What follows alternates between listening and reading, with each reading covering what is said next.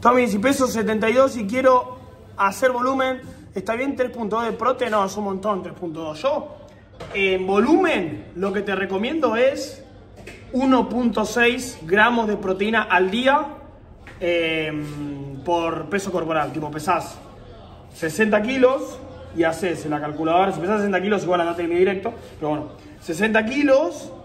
¿Dónde está la calculadora, bro? Y 60 es 66. Acá, entras a la calculadora, 66.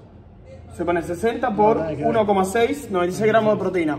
O sea, esto es una manera para saber cuántos gramos de proteína tiene que comer al día para ganar masa muscular. Si estás en volumen, 1,6 y, y si estás en definición, 3 gramos, no, perdón, un montón 3 gramos.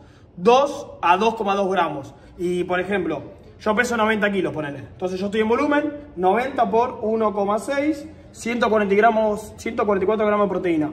¿Cómo sabes cuántos gramos de proteína tiene cada comida? Y lo buscas en MyFitnessPal, Die Secret, por ejemplo, no sé. 5 huevos enteros tiene 28 gramos de proteína, también tiene grasa. Eh, una pechuga de pollo tiene 22 gramos de proteína, un scoop de proteína tiene 22 gramos de proteína.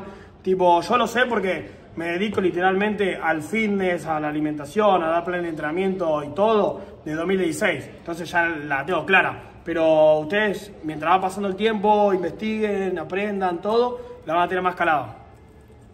Tengo calor, boludo, pero no me puedo sacar el buzo. Lo habrá bloqueado. No, te bloqueó.